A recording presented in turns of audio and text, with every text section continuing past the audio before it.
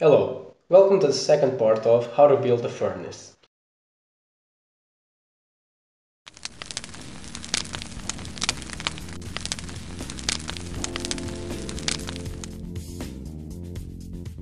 Now let's build the lid. Mix plaster with water again in the same quantities as before. Pour this mixture into the bucket. We wrap this one with aluminium foil to prevent the mixture from sticking to it.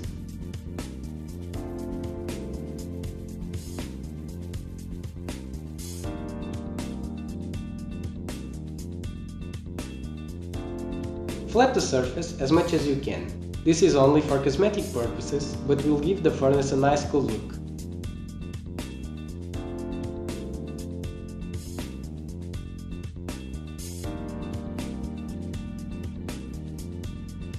Use an old can wrapped aluminium foil to create the future exhaust port.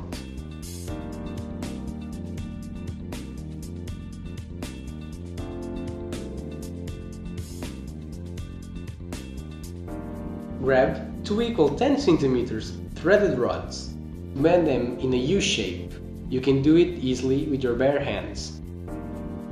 Now, use the threaded rods and put them next to each other.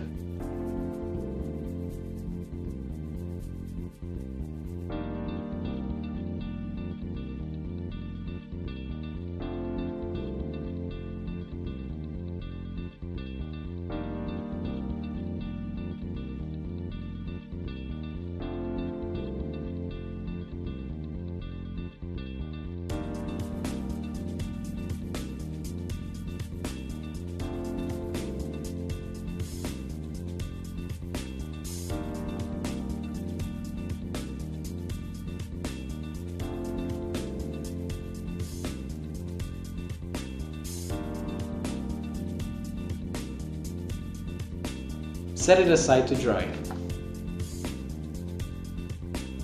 Now, you will need to remove the styrofoam from the furnace.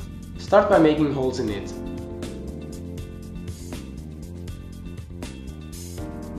Styrofoam melts really well, so let's just set it on fire.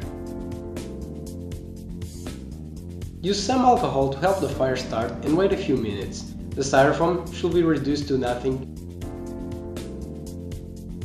while we wait, we can have a flaming show. Now, you should have something like this. Time for a cleaning. Use some universal cleaner. Let's make the furnace shine again. By now, you can remove the duct tape as it's useless.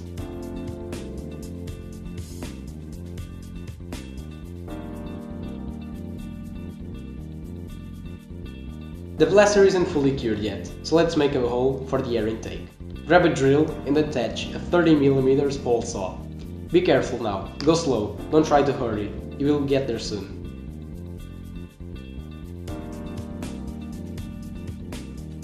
While we wait, let's make the air intake.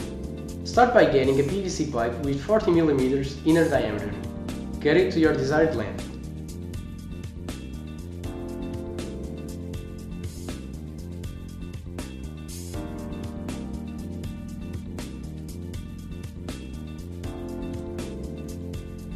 Use sandpaper to flatten the surface if needed. For the furnace intake, we use a stainless steel tube with 30mm inner diameter. Use an angle grinder to cut it to your desired length. Use safety glasses, there is going to be metal splinters flying.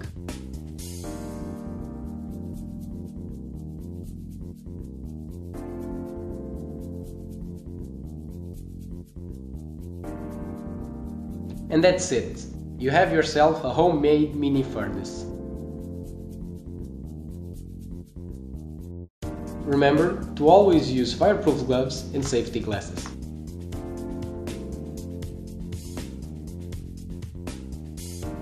If you like this video, make sure to like and subscribe.